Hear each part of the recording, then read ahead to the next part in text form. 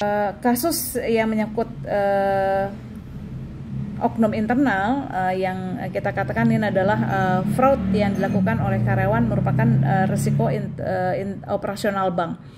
Nah, risiko operasional bank ini termasuk risiko yang potensinya cukup besar di bank. Karena itu mitigasi uh, risiko ini seharusnya dilakukan dengan baik. Bank seharusnya sudah menerapkan konsep uh, three lines of defense di dalam enterprise risk management atau IRM. Uh, pada konsep IRM ini pengawasan bank dilakukan uh, berlapis ya. Jadi ada tiga lapis pengawasan. Lapis pertama ini pengawasan yang dilakukan oleh manajemen pelaksana operasional bank uh, atau uh, biasanya dilakukan oleh pimpinan. Kemudian ada lapis kedua pengawasan. Pengawasan lapis kedua ini dilakukan oleh uh, unit khusus manajemen risiko internal termasuk internal auditor ya. Kemudian ada pengawasan berikutnya, pengawasan lapis ketiga. Ini pengawasan eksternal ya, e, seperti akuntan publik dan otoritas jasa keuangan. Ini di lapis e, pengawasan lapis ketiga. Jadi dengan konsep seperti ini e, di mana e, OJK ini ada di lapis pengawasan yang ketiga, sangat sulit e, mengharapkan OJK itu untuk bisa mencegah fraud dilakukan oleh karyawan bank OJK biasanya hanya melakukan audit sekali dalam setahun, itu pun yang berbasis pada risiko. Itu artinya OJK ini fokus pada masalah yang exposure risikonya tinggi gitu.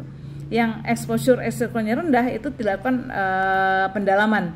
Ya karena itulah uh, manajemen bank sebagai lapis pertama pengawasan uh, ini seharusnya melakukan pengawasan uh, secara ketat gitu sehingga risiko operasional ini bisa diminimalkan apalagi terhadap pejabat bank yang diberi kewenangan sangat besar dalam melakukan berbagai uh, transaksi.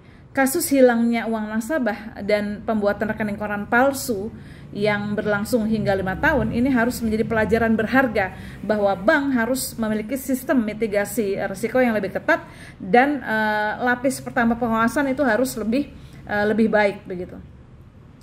Dan memang uh, salah satu cara untuk uh, mem, me, mem, apa, mitigasi risiko yang lebih ketat ini misalnya dengan penggunaan teknologi uh, dan digitalisasi. Nah, kejadian uh, di Maybank ini tidak akan terjadi jika nasabah sewaktu-waktu mengakses rekeningnya gitu. Atau minimal memanfaatkan notifikasi transaksi uh, terutama transaksi keluar untuk uh, penarikan atau transfer dalam jumlah tertentu gitu. Jadi ketika ada ada uang keluar itu ada notifikasi gitu. Itu diaktifkan kan sekarang layanan itu sudah ada begitu. Jadi setiap ada uh, noti, apa namanya uh, transaksi yang mencurigakan itu bisa langsung uh, terlihat notifikasi. Jadi sangat apa uh, ironi uh, bahwa pada uh, bank yang dikenal sebagai tempat uang paling aman itu karyawannya bisa menyembunyikan kejahatan dalam waktu yang yang uh, begitu lama.